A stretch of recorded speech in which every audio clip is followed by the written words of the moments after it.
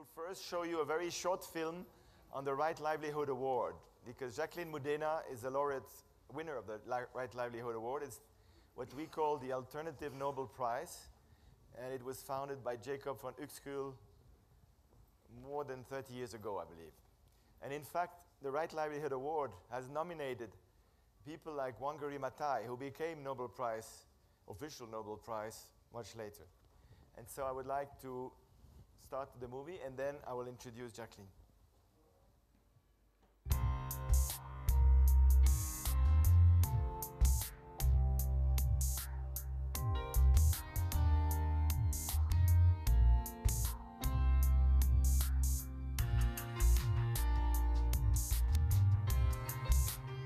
A lot of the nominees are uh, persons who, in their own country, um, would otherwise never get any sort of recognition for the kind of work that they're doing, or even a spotlight, or even many of their own citizens would not know that an organization or an individual like that has achieved so much.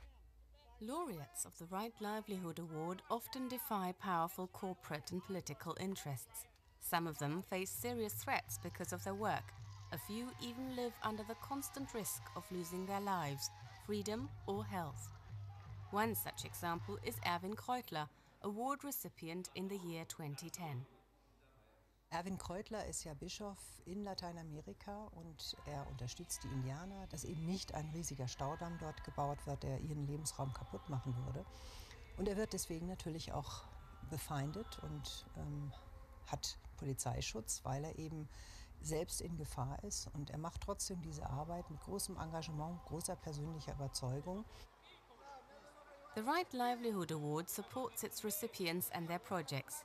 The prize opens doors and arouses public interest. For the laureates, this attention gives significant protection. Wir haben mehreren Leuten wirklich Leben retten können, dadurch, dass sie den Preis bekommen haben. Helen Mack Chang lives in Guatemala. In 1990, her sister Myrna was brutally murdered by the military. Despite the danger of her own life, Helen Mack Chang stood up to fight for justice and got the murderer of her sister convicted. She received the Right Livelihood Award in 1992. When she returned back to Guatemala City, the local head of the police said to her, Now you are uh, untouchable because you have this international recognition. The Right Livelihood Award enjoys high public respect. Its reputation and credibility strengthen the laureates and their projects and bring them the attention that their important work deserves. Their governments and other powerful interest groups can no longer ignore or silence them. Someone who's very much criticized at home for the work that he or she is doing, when they then come to Stockholm to accept the award, they are some of them which I think, I think is fantastic, say that, you know, I accept this award proudly on behalf of my country and the ambassador is invited and so that, you know, something positive for the country derives from that. And in, in some cases that has worked remarkably well. Biologist René Ngongo has campaigned for protection of the rainforests in the Democratic Republic of Congo. He has fought against destructive practices in the mining and forestry industry as a result of his successful work, he received the Right Livelihood Award in the year 2009. When I called him to say that he would receive the award, he told me that the government had just threatened to close down his small organization. And 10 days later, when we made the announcement in the Swedish Foreign Office, it was all over the press in the Congo. And the same government that had threatened to close down his organization hosted a state reception for him. He was invited to a reception in the nicest hotel in Kinshasa with ministers speaking. So I think in those situations, the Right Livelihood Award really can galvanize, can give more energy, can give more oxygen to that person and that movement. So we really need an award like this for social transformation.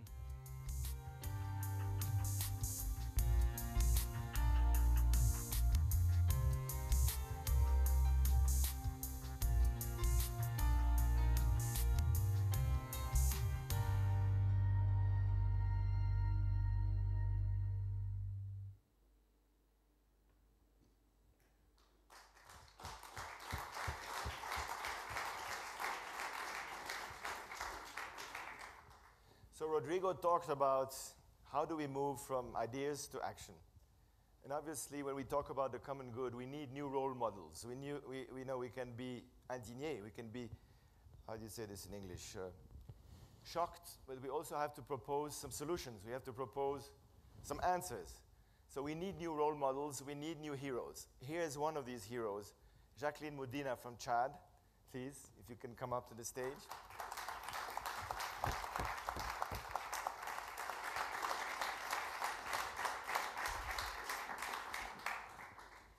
She is a human rights activist, and then she will make a testimonial, which will last around 15 minutes.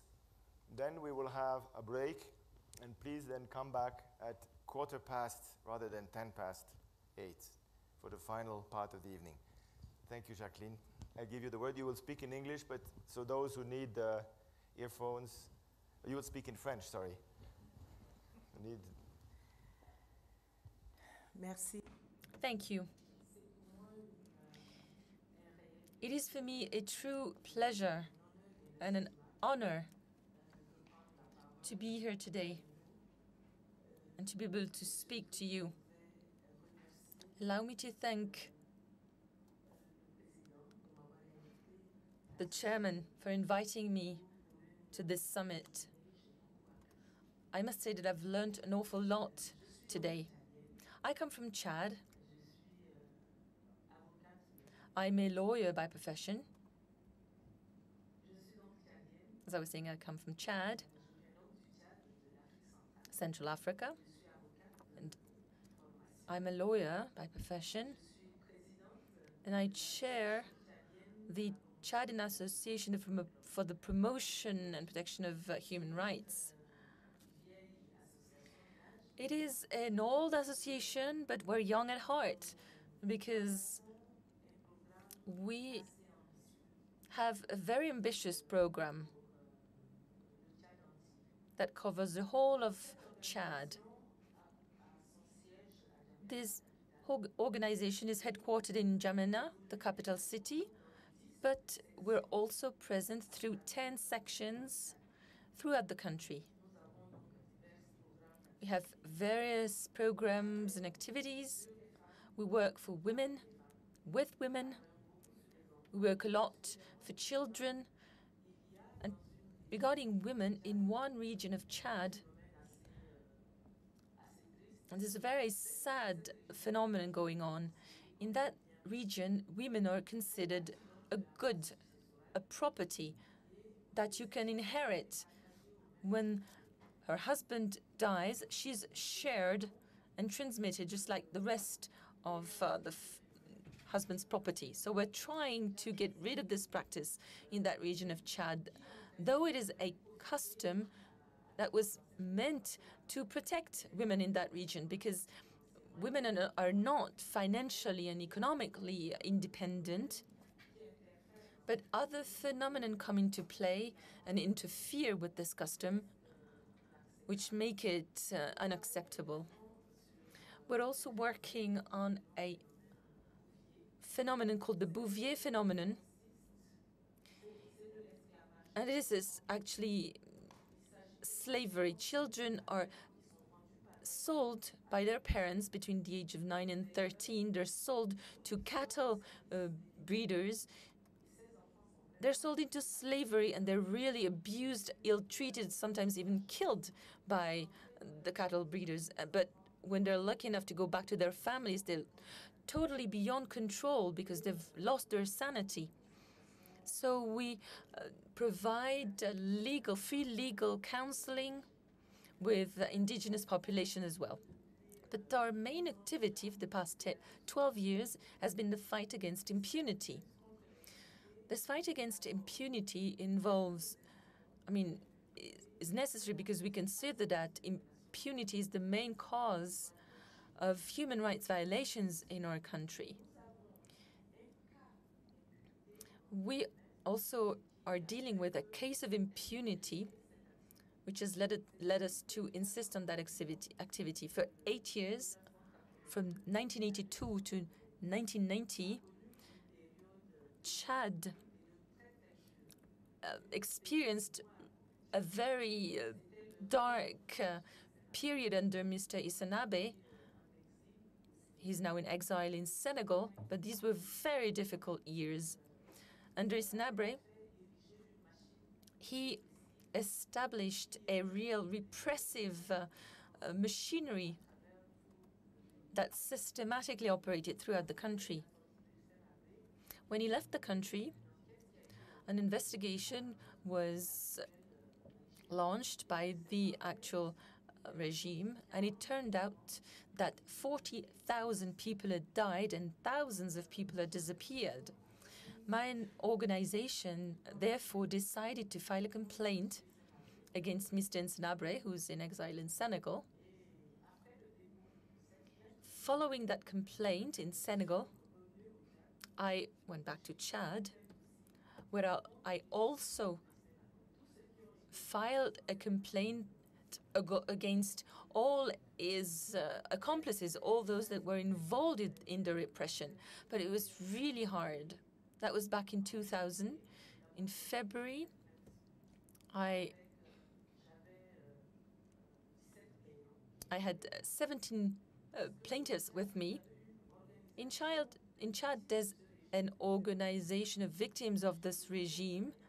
I asked to be able to work with this organization, so we filed the first complaints in Senegal, then back in Chad.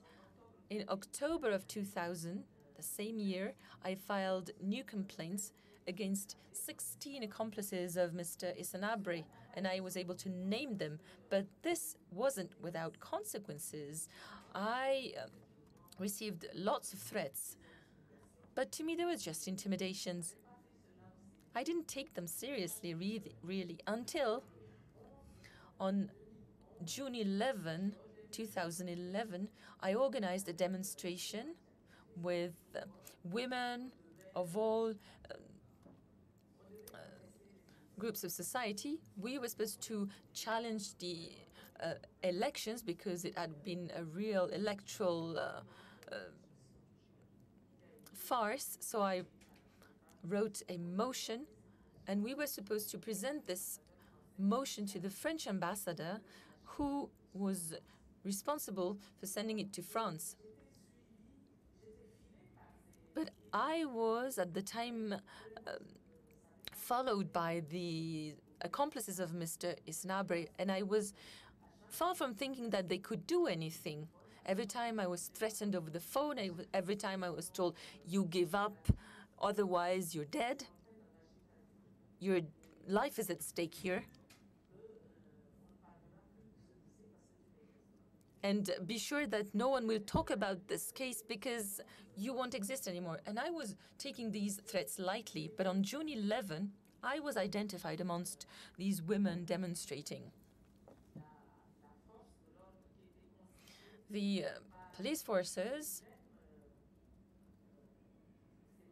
had actually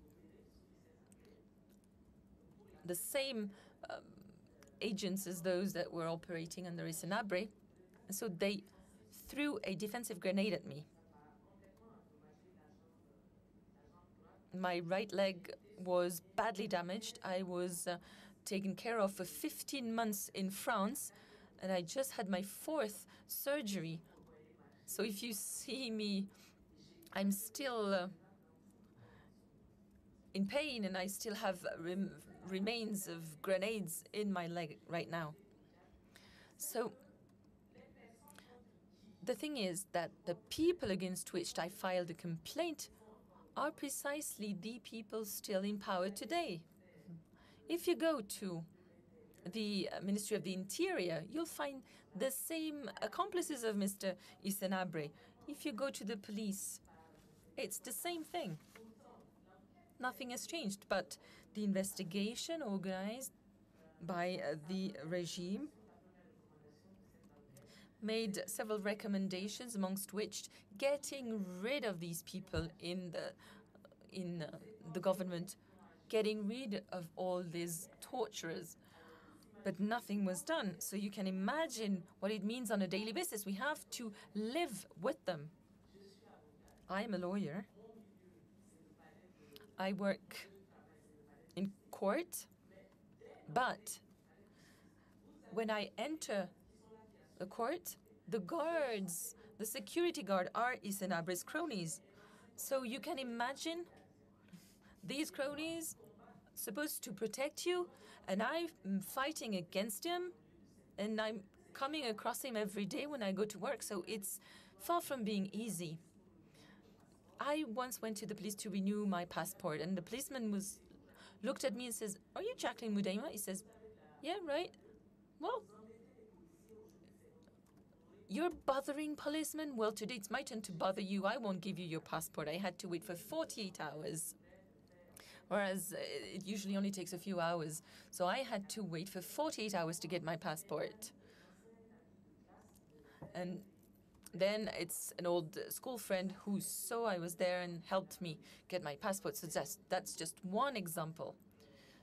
But I'm not welcomed in any other public offices. Uh, Since I'm still working on this case,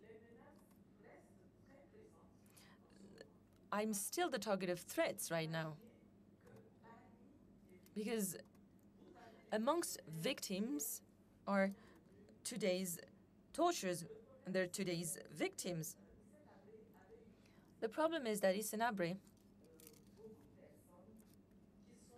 used lots of people who are now in charge starting with the current president of the republic.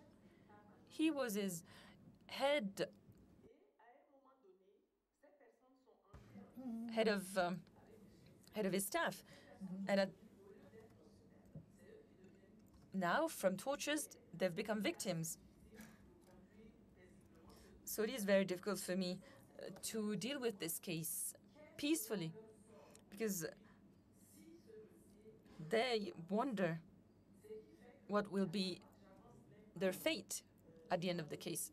So I take one step forward and then 10 steps backwards because there's always someone to uh, come and stop me. The main problem is also African heads of states because there's one trade union, what I call a trade union of, of a few African heads of states that do not want Mr. Hissène Habré to be judged because this will uh, be this will set a precedent and many of them may go through the same process later on so these heads of states are trying to stop me wherever I go whatever I do in Senegal Abdoulaye Wade's regime got us to go round in circles for 12 years because at what at one point the African Union got involved in the case and wanted Senegal to judge Mr. Hissène Habré in the name of Africa. At one point, I was so fed up that we turned towards Belgium to file a new complaint.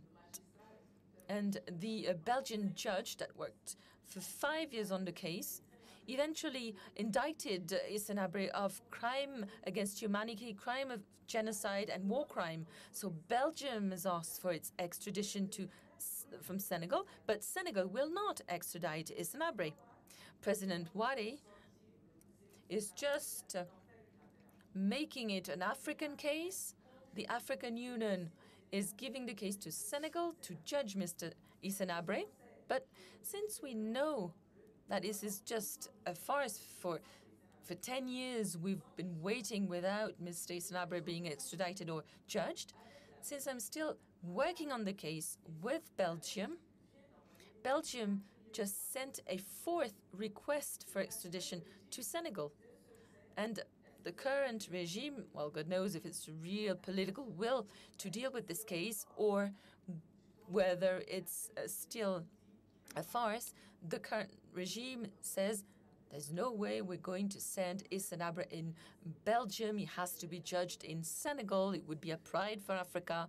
It would be uh, a way to strengthen Africa's dignity. But to me, there won't be any dignity in Africa so long as Africa will be uh, filled with torturers. While Africa is still slaughtering its sons and daughters, it will have no dignity. I, for one, believe that the dignity of Africa is to use this case to have the courage to ask Senegal to simply extradite Hissène Habré to Belgium so he can be judged there. And then we'll draw uh, the lessons. This will be the real lesson for Africa, and then Africa will be able to use it. And uh, maybe create a court to judge its culprits without having to send them abroad and have them judged by uh, the little white men, as African Union was saying. So I've tried to simplify so as not to delay you any further. So thank you for your attention.